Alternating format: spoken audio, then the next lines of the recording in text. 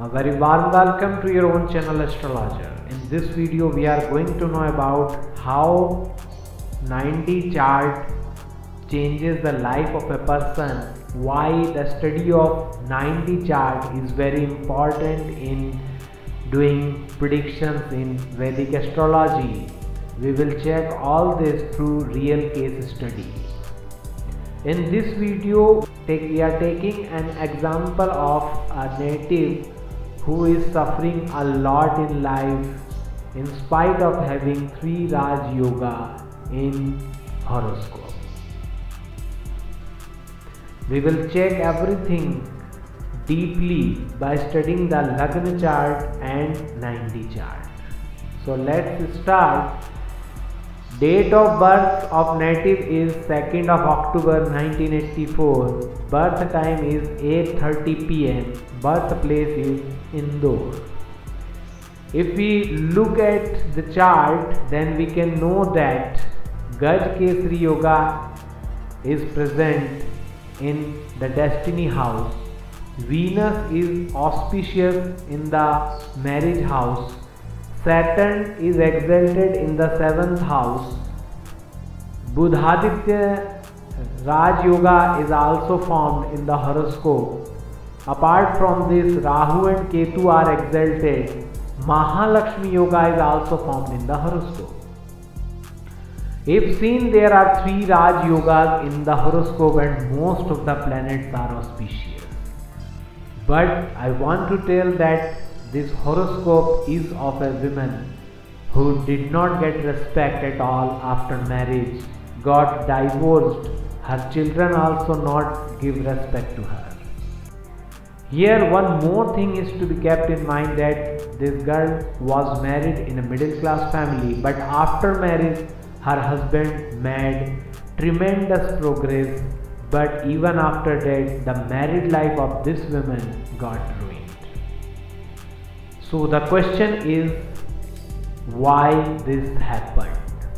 Why the family life was ruined? The answer of this question is found when we study the Navamsha Kundali that is 9D chart.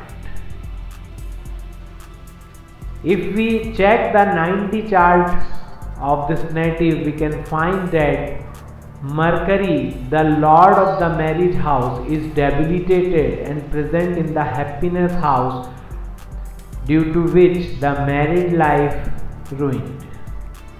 Saturn is sitting in his fifth house and is debilitated, due to which the relationship with the children is also not good. The conjunction of Sun and Mars took place in the sixth house due to which Angarak Yoga was formed and at the same time Sun became malefic due to which the native suffered from serious problems, serious physical and mental problems due to defamation. Ketu is enemy in 9D chart and sitting in destiny house. This has also increased the struggle in life. The debilitated moon is present in the 12th house due to which she had to bear mental trauma continuously. There was a conjunction of Venus and Rahu in the third house in the 9D chart due to which there was a problem in his personal happiness and also her relations with his brothers are also not good.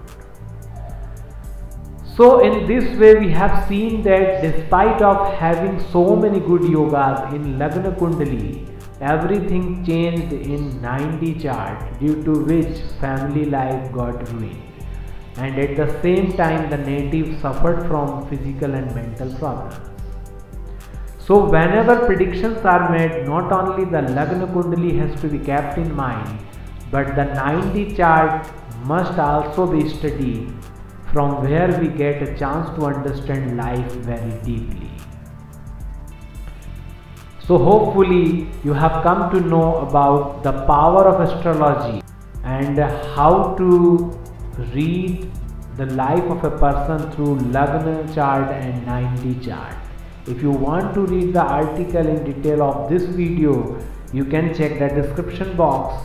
If you are new in this channel don't forget to like share and subscribe this channel so as to get the latest updates as soon as it is published.